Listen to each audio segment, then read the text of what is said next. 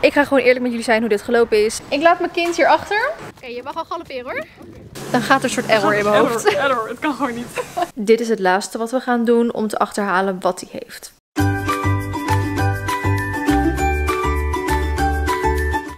Goedemorgen allemaal en leuk dat je kijkt naar een nieuwe dagvlog. Vandaag heb ik een best wel vol programma en dat loopt ook best wel uiteen allemaal. Ik heb als eerste een afspraak in Haarlem. En dat is echt een hele leuke afspraak en ik kan echt niet wachten om jullie er meer over te vertellen.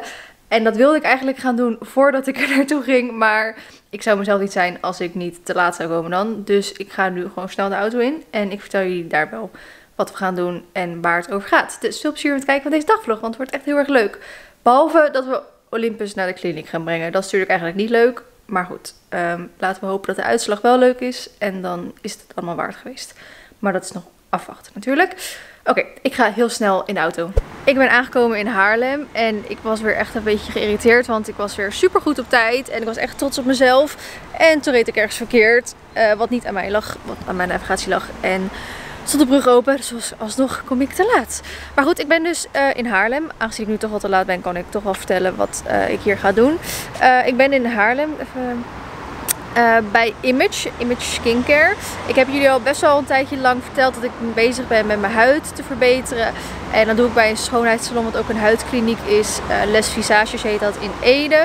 En um, ik zei, ik ga even een lange tijd hun producten uitproberen die zij mij aanschrijven. Want ik heb denk ik ongeveer elk product dat gewoon in de normale winkel te krijgen is, heb ik allemaal een keer geprobeerd en het helpt allemaal niet. En dit werkte wel echt super goed. En ik krijg zo vreselijk veel complimenten van mensen, zowel uh, onder de video's, op stal, in het echte leven, dat ze mijn huid er echt veel beter vinden uitzien. Dus ik ga gewoon eerlijk met jullie zijn hoe dit gelopen is. Wij hebben gewoon een berichtje naar Image gestuurd, ik en uh, Miranda, mijn nieuwe manager, om te kijken of ze het leuk vonden om een nieuwe samenwerking aan te gaan. En we zijn een tijdje geleden hier op hoofdkantoor in Haarlem dus geweest. En dat vonden ze super leuk en ze waren heel blij dat ik achter hun producten stond. En dat sta ik ook. Anders zou ik nooit een samenwerking met iemand aangaan en het aan jullie vertellen. Want ik weet dat veel van jullie hier ook benieuwd naar waren wat voor producten ik gebruikte en hoe ik het deed. Omdat ja, acne en littekens en vlekjes zijn gewoon echt iets van tieners. En als je wat ouder bent zoals ik, wat je aan je acne overhoudt. Uh, dus ik ben vandaag bij Image om een extra behandeling van hun te krijgen. Zodat zij er alles over kunnen vertellen en ik alles weer aan jullie kunnen vertellen. Dus ik ga naar binnen lopen. Ik zit dus nu binnen bij Image en ik heb net even beneden nog met de anderen wat uh, afgesproken, nog even bijgepraat. En ik vind het ook echt super lief hoe ze ook alles rondom Olympus in de gaten houden. Want ze vroegen gelijk, en hoe gaat het met je paard? En uh, heb je hem al weggebracht? Want dat ga ik natuurlijk vanmiddag doen, dus dat vond ik echt super lief. Maar ik zit nu aan tafel en jij gaat straks bij mij de behandeling doen. En we gaan nog veel meer doen. Dus zou je misschien zelf even willen voorstellen en wat we precies gaan doen? Ja, natuurlijk. Mijn naam is uh, Elfja. Ik werk voor uh, In Skincare uh, in het Experience Center. En ik geef daar de behandelingen. Wat ik straks bij uh, Feline ga doen is even een huidanalyse. Dat doe ik met Observe, met de huidanalysecamera. En op basis daarvan, wat daaruit komt, gaan we een behandelplan uh, en een productadvies uh, voor jou samenstellen. Ja. Dus laten we daar uh, mee gaan starten. Ik ben benieuwd. Voor je gevoel zit je een klein beetje met je hoofd achter in je nek, want dan zit je namelijk rechter in het apparaat. Ja. Je mag ervoor zorgen dat je haar ook goed uit je gezicht zit. Dan krijg je het mooiste foto. Ja. Kan je? Ja.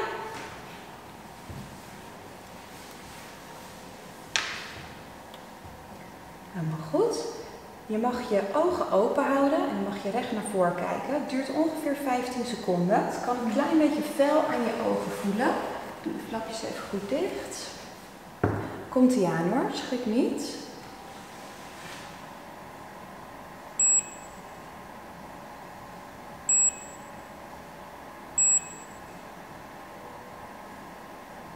Ik ga je de foto's laten zien. Mm -hmm. Confronterend altijd. Ja.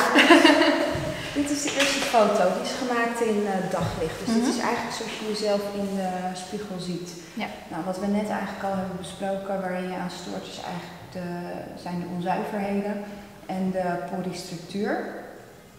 Um, als ik naar de volgende foto ga, vergroot hij het vatenstelsel uit. Mm -hmm. Dus dan zie je meer de roodheden in de huid. Ik ga het helemaal voor je in een paspoort uh, schrijven, zodat je niet alles hoeft te onthouden. dus dat je precies weet wat ga ik s ochtends doen, wat ga ik s avonds doen. Mm -hmm. um, en we hebben dan natuurlijk nog de behandeling die we gaan inzetten op je huid. Ja. Uh, laten we starten met de talgproductie.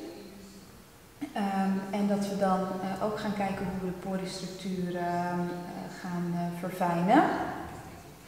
Um, maar ik wil je eigenlijk eerst even op de stoel hebben. Ga ik je gezicht goed reinigen en dan gaan we kijken wat we kunnen doen qua behandeling. Is het? Ja? Top. Ik je huid eerst even goed schoonmaken. Mm En merk je dus duidelijk dat wanneer je stress hebt, dat het dan uh, er meer uitkomt, dat je dan meer last ja. hebt. En dat het ook wel langer blijft zitten, dat het dan langer duurt voordat het weg is. En kun je er zelf goed vanaf blijven? Mm. Oké. Nee, niet echt. Want dat is wel belangrijk. Um, dat je het genezingsproces niet verstoort. Ja. Ook voor de littekens voor, eh, voor later uh, zou het gewoon heel erg zonde zijn als je straks een hele mooie rustige huid hebt, maar dat je wel die littekens uh, overhoudt. Want het duurt best wel lang voordat zo'n verkleuringje weer weg is. Het kan een klein beetje prikkelen. Ik vond juist toen ik net met de producten begon, een paar maanden geleden, mhm. toen prikkelde het echt heel erg. Dat ik echt soms wel even een rondje door het huis moest lopen, omdat het gewoon niet ging. Zo intensief. Ja, en nou, ik denk pas na een maand of zo werd dat iets minder en nu prikt het eigenlijk gewoon nauwelijks meer. Oké. Maar ik begrijp dat je paard uh, ziek is. Ja, nou ja, niet ziek als in uh, verkouden of weet je wel, dat soort dingen. Mhm. Maar uh, ik heb hem laatst laten keuren, omdat ik wil gewoon zeker wilde zijn dat hij niks had voordat we uh, hem uh, gingen beleren. Ja. En toen kwam er dus helaas uit dat hij heel wat had. Oké. Um, ik uh, wil meer inzetten op je thuisregime. Mm Alleen het moet voor jou wel haalbaar zijn, ook wat je gewend bent. Mm -hmm. Qua cleanser, qua serum, qua crème, dat je, dat je het ook wel doet. Mm -hmm. Niet dat ik je een, een, een, heel uitgebreid regime meegeef en ik zeg, ja joh, daar heb ik helemaal geen, geen tijd voor. Nee, daar maken we tijd voor. Oké. Als ik iets irritant vind, is het de deur uitgaan of wat dan ook met een vette huid of zo. Zonder mm dat ik het is inderdaad even goed schoongemaakt en behandeld. En inderdaad mijn bed weer ingaan zonder dat het ja, weer fijn voelt. Ja. Dit is uh, het Hydrating uh, Sheet Masker. Mm Het hydrateert je huid, maar het kalmeert ook direct. Dus je zult merken dat je straks dan niet zo rood de deur uitgaat. Wow. Ik glim helemaal. Ja, nog een beetje shiny. Ja. Maar het ziet er wel, het, het ziet er echt wel anders uit toen ik hier kwam. Rustig hè? Ja. Hallo, ik zit in de auto en ik ben net, oh dit is allemaal niet echt handig. Uh, ik ben net eh, natuurlijk bij Image geweest en ik heb een behandeling gekregen. Uh, ik werk natuurlijk al, zoals ik vertelde, met hun producten en ik ben er heel erg tevreden over, want het gaat echt wel heel stuk beter met mijn huid. En ze hebben nog even nog extra ernaar gekeken en nog een beetje gefine-tuned. En um, dat is ook de reden waarom we niet precies gaan vertellen of laten zien welke producten ik gebruik of welke ik voorgeschreven heb gekregen. Omdat het echt heel erg uh, gericht is op mijn huid en waar ik problemen mee heb. En voor iedereen is dit verschillend. Dus um, ja, we willen natuurlijk niet dat als iemand nu deze video ziet en denkt: Oh, ik heb soortgelijke problemen met mijn huid, wat Feline heeft dat je dan zelf op eigen initiatief die producten aanschaft. En ja, wie weet wat daar, dat het ja, niet werkt. En dat je dan met producten zit of met een huis zit waar je nog steeds niet tevreden over bent. Want het is nou eenmaal zo dat die producten best wel wat kosten. En ik had zoiets op een gegeven moment, ik wilde er gewoon heel graag van af. Ik ben er helemaal klaar mee. Maakt me niet uit wat het kost. Hier heb je mijn geld. Uh, ik wil gewoon van mijn acne, van mijn littekens wil ik af. En ik denk dat de mensen die ook heel erg last van hebben, dat gewoon begrijpen. Mocht je daar niet zoveel last van hebben, ja, dan is natuurlijk helemaal niet erg dat je daar niet zoveel geld aan uit wil geven. Maar het is nou eenmaal zo dat gewoon eigenlijk dit soort producten gewoon veel beter voor je huid werken dan een 5 euro productje die je bij de kruidvat kan halen. Dus ik heb een hele tas vol met spullen weer gekregen die ik weer kan gaan gebruiken. En ik ben echt heel erg uh, tevreden over de samenwerking. Het zijn ook echt zulke lieve mensen. Uh, ze hebben me heel erg uh, geholpen en ook verteld over hoe mijn huid werkt. En het is vooral dat mijn huid gewoon echt gigantisch dik en stug is. En wil jij um, je acne verbeteren, of eigenlijk weghalen, dan moet je heel erg onder die huid kunnen komen. En dat lukt gewoon bijna nu niet, omdat die zo dik en stug is.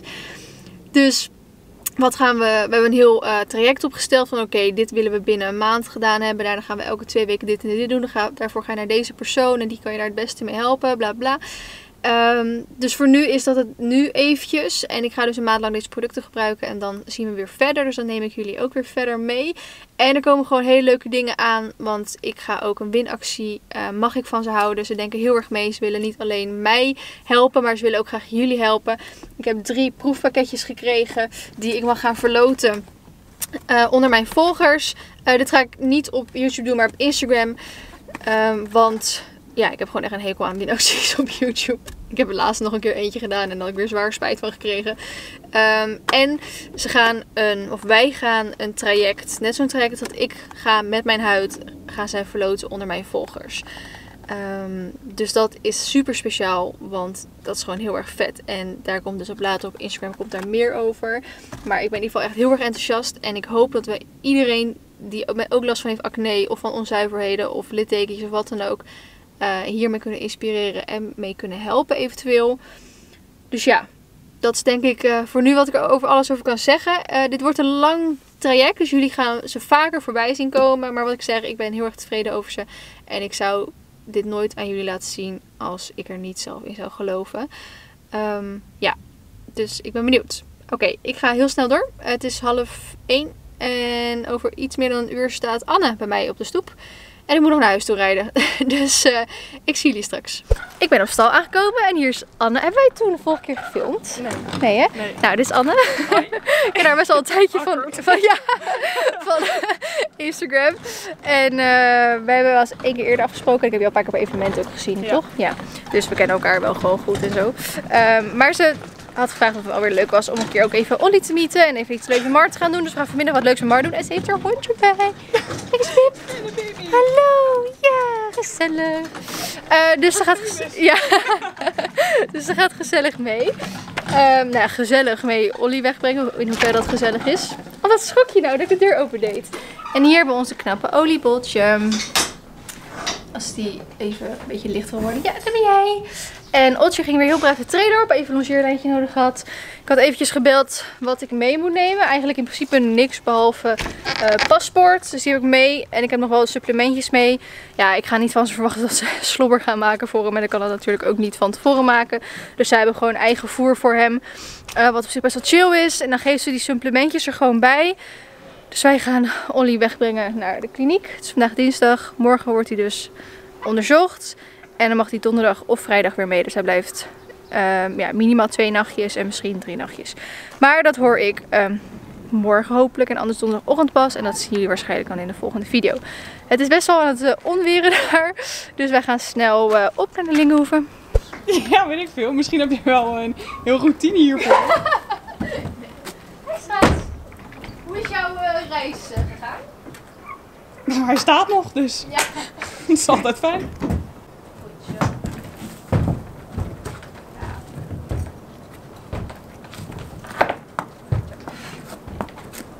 Knappe jongen. Braaf hè? Zo. Oh, We zijn er weer. Ja. baby. We gaan je weer pesten. Hoop voor de laatste keer. Maar je moet wel een paar dagen blijven.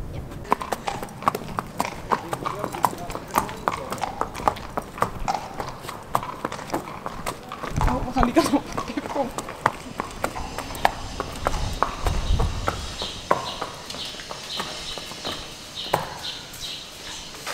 Zo. Hier even in staan. Ja, nee, daar maar staan. Oh, daar staan.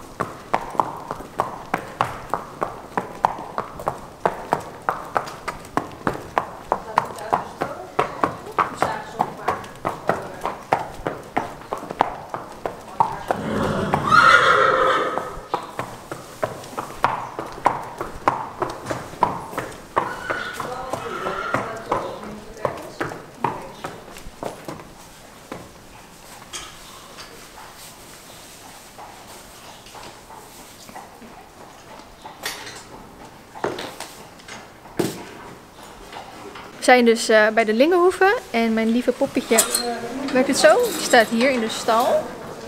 En hij heeft dus ook zo'n uh, naamplaatje gekregen op zijn halster. Je bent heel lief hè. Hij staat lekker op zaagsel. En ik heb zijn supplementjes, zo, waar Pipje voor staat, heb ik erbij gezet. En uh, ze hadden ook slobber voor hem. Maar zeiden dat de meeste paarden hier hun slobber eigenlijk niet zo lekker vonden.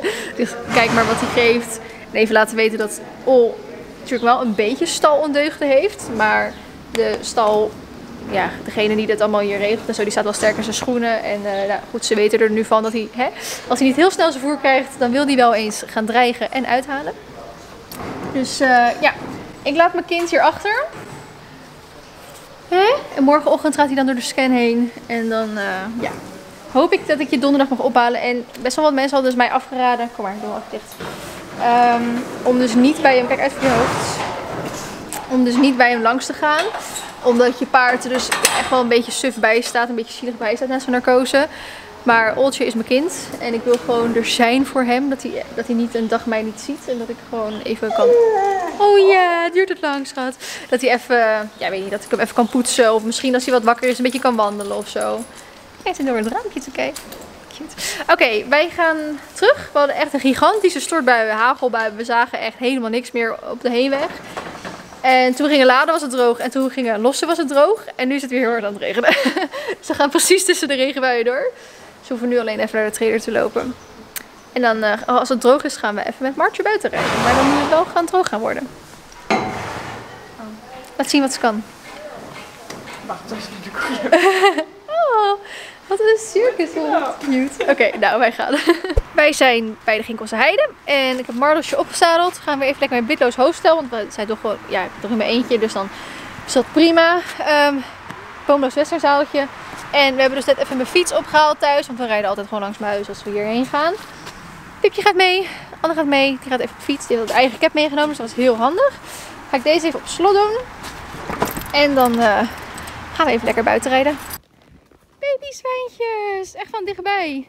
Maar moederzwijn die staat daar verderop. En die loopt weg voor ons. Dus hij uh, valt ons niet aan. We moeten altijd bij zwijnen natuurlijk goed uh, uitkijken dat, uh, dat hij je niet aanvalt. Want die zijn heel erg beschermend tegenover hun kleintjes. Ze zijn ook niet heel klein meer trouwens hoor. Dat is wel geweest. Maar maar doet het echt super goed. Ik weet niet of jullie nog weten van de Veluwe Trail vlogs. Of Veluwe Trail. Van de vakantie laatst op de Veluwe bij camping Bossicht met uh, Luna en Jasmijn. Oh, ik heb het geschreven. Maar toen kwamen we ook een paar keer zwijnen tegen. En die paarden gingen er echt niet langs hoor. En nu wat ik het laatst ook al met Marley hier een keer. Toen kwamen we ook, zagen we zwijntjes op een afstandje. En toen kon ik echt wel veel meer naar voren krijgen dan toen. Want toen stond ze echt stil. We het gewoon, moesten gewoon afstappen omdat we gewoon niet anders gingen. Of we moesten gewoon een andere route inslaan omdat ze gewoon niet gingen. En nu, ja, deed hij het echt uh, super goed. Dus daar was ik echt wel, uh, hij, liep, uh, hij stond even stil. Maar daarna liep hij gewoon heel erg braaf rechtdoor. Dus daar ben ik echt trots op hem. Oh, dit is zo'n mooi beeld. En dan met die zon zo die er doorheen komt. Oh. Hey daar, Piepje. Oké, okay, je mag al galopperen hoor.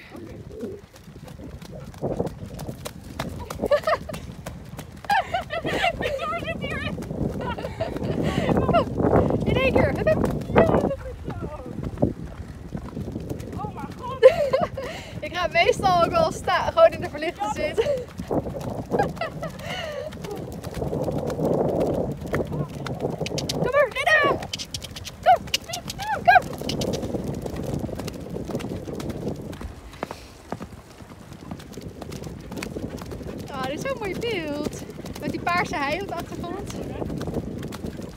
Wij zijn weer terug op stal. Ik heb de trailer al teruggezet. En eigenlijk wat altijd handig is, is dat ik mijn uh, boomloos westerzadel en het bitloze hoofdstel altijd in de uh, zadelkamer liggen. Want ik heb er geen plek voor in mijn eigen, in mijn eigen kasten.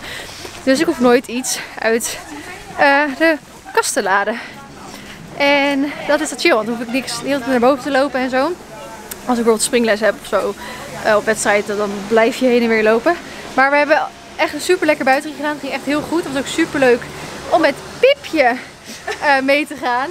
En Mar deed ook super goed. Die was echt heel blij. Eigenlijk zeg maar de laatste tijd als ik op buiten ga, ga ik of met Sjoe of met iemand anders. Um, en Sjoe durft nog niet zo goed hard te galopperen omdat George een keer heel hard gebokt heeft. Dus dat begrijp ik natuurlijk en dan doen we dan ook niet. Maar Mar die vindt het wel heel fijn om echt heel veel te draven en echt veel te galopperen. Dus hij heeft echt, ik denk dat wij in totaal misschien 10 minuten gestapt hebben. Echt 50 minuten gedraafd. En dan ook kleine 10 minuutjes, 5 minuutjes gegalopeerd. Want hij was op een gegeven moment zo moe. En dan niet omdat hij, zeg maar, we hoefden hem echt niet te pushen of zo. Hij ging echt uit zichzelf, bleef hij maar draven. Het was echt heel leuk. Hij had echt lekker de swing erin en zo. Dus was heel blij mee. Dus zat hij lekker te eten. Even, Anne heeft even een borsteltje over hem heen gehaald. Zo ben ik. dat kon ze. ja, we hebben dus allebei. Zeg maar, zijn best wel perfectionistisch. En dan niet als in dat elk veltje eraf moet. Totaal niet. Totaal, maar wel dat het in onze volgorde. Ja, ik ben eigenlijk zelfs echt een chaot. Want mijn paard ga ik ook gewoon soms rijden zonder dat ik een borstel maar.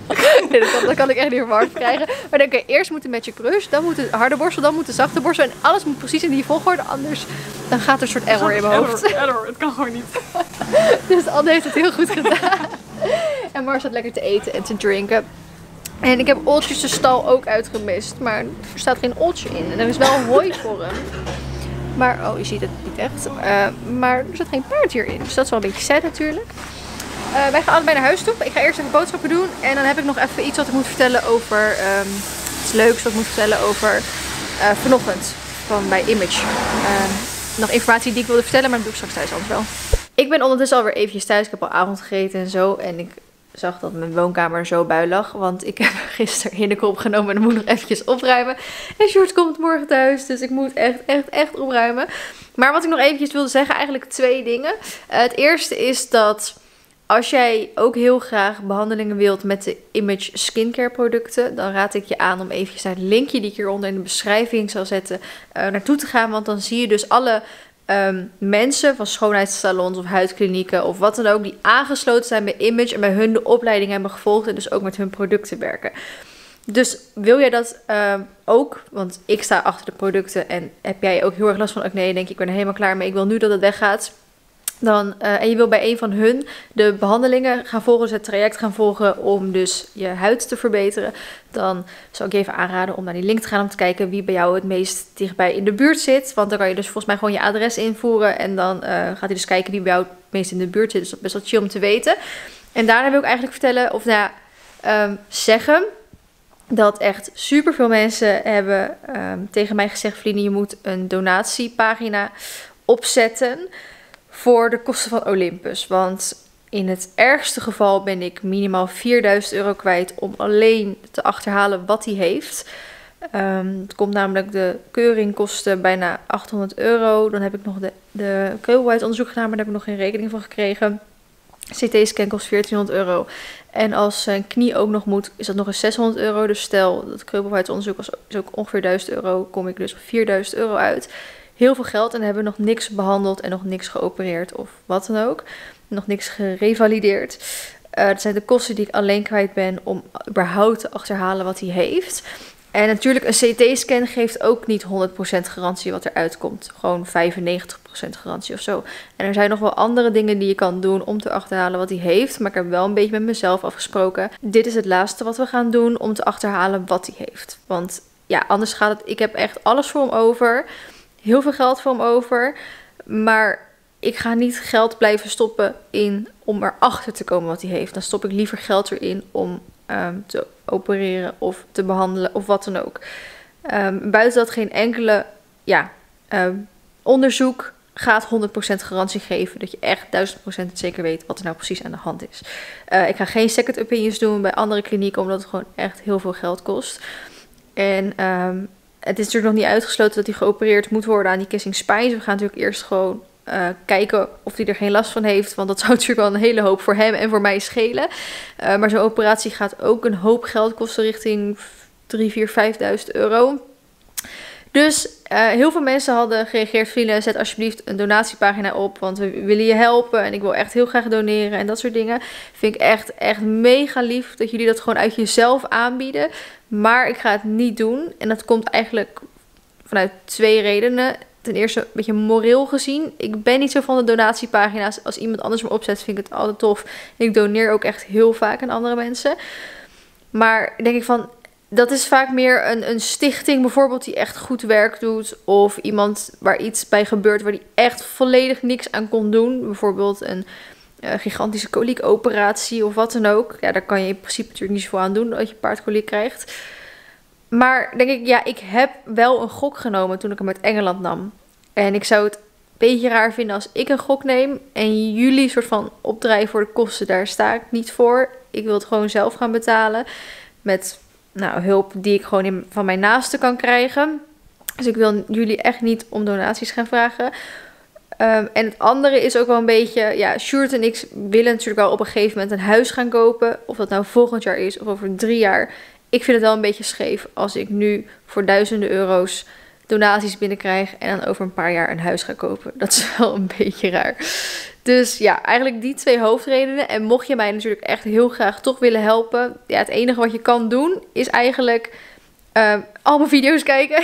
ik, hoorde ook een hele grappige reactie van iemand die zei: Ik ga vanaf nu alle advertenties kijken. Want volgens mij, als een advertentie voor een video of tijdens een video wordt afgespeeld, moet je hem helemaal afkijken. En dan pas zou ik er dus een, uh, een uh, financieel bedrag van krijgen. Echt heel weinig. Maar ik ga alle advertenties voor je kijken. Super grappig en super lief. Maar mocht je me wel heel graag ergens mee helpen en er toch nog iets voor terugkrijgen, dan kan je natuurlijk altijd merchandise of iets van de, ja, van de kledinglijn kopen. Een dekje, een halster, uh, de rijbroek zijn tegenwoordig uitverkocht, dus dat is super leuk. Een legging, een riem, een petje, nou noem het maar op, wat we natuurlijk nog hebben. Uh, als je me heel graag ergens heel graag mee wil helpen en je mag niet doneren van mij, dan is dat het enige wat je zou kunnen doen. Maar in principe, jullie lieve reacties geven mij natuurlijk al genoeg steun. En ik moet ook zeggen, het is nu ongeveer twee weken geleden dat ik het slechte nieuws kreeg. Het is best wel een beetje gezakt. En als ik morgen echt super slecht nieuws krijg, dan zou ik wel in ieder geval een stuk minder verdrietig zijn dan als ik dat gelijk twee weken geleden had. Ik ben een beetje aan het idee gewend dat we een, om een hoop dingen rekening moeten houden. En als ik wel groen licht krijg, moeten we alsnog met een hele hoop dingen rekening houden. gaan we alsnog een revalidatietraject in. Dus ik heb me er wel een beetje bij neergelegd. Ik heb het geaccepteerd. Het is wat gezakt. En dat vind ik wel heel erg fijn dat ik er gewoon weer normaal over kan praten. En niet gelijk um, ja, ga huilen als ik erover praat. Dus daar ben ik op zich wel blij mee. Uh, ik ben heel erg benieuwd naar de, naar de uitslag van morgen. Of van overmorgen pas, als het even tegen zit. En ik ga morgen alvast bij Olly kijken. En dat zal ik dan even in een, uh, in een andere, in de volgende video laten zien. Dus, bedankt voor het kijken. Ik hoop dat jullie deze dag heel erg leuk vonden. Ik vond het in ieder geval echt een hele leuke dag. Het was super leuk bij, uh, in, in Haarlem. Bij Image. Super lieve mensen daar zo. En daarna heb ik het echt heel gezellig gehad met Anne. Ik heb nu niet heel veel van de buitenrit gefilmd. Maar ik heb het echt super naar mijn zin gehad met Anne. En als je dit ziet, we moeten echt vaker afspreken. Want dit was echt heel gezellig. Oké, bedankt voor het kijken. En ik zie jullie heel graag volgende keer weer. Doei doei!